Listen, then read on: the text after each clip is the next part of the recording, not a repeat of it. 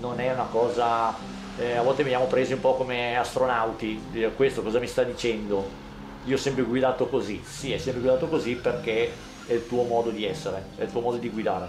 Quando viene cambiata la tecnica di guida capisci dopo, alla fine di un corso, come successo anche in questi giorni con gli allievi, capiscono dire sì è vero, sento la macchina più sicura, riesco a fare cose molto eh, più sicure in maniera anche con eh, l'andatura più veloce utilizzando il mezzo, capendo cos'è bagnato, cos'è asciutto, cos'è l'umido, un ingresso sicuro, come si frena e come si imposta la traiettoria anche su strada normale, perché su strada normale la nostra corsia è come una pista.